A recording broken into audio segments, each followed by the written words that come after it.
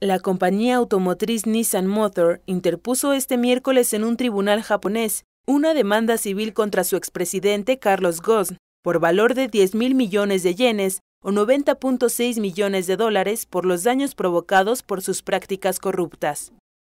Con la demanda se busca recuperar una parte significativa de los daños provocados por Ghosn durante años de conducta inapropiada y actividades fraudulentas, según expuso el fabricante japonés en un comunicado.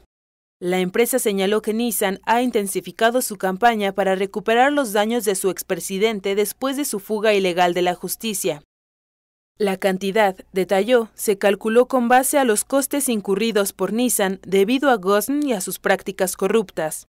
La demanda civil presentada este miércoles está vinculada a las acusaciones de abuso de confianza que pesan sobre el empresario, que actualmente se encuentra prófugo de la justicia japonesa en el Líbano y al que se acusa del uso y apropiación indebida de fondos corporativos.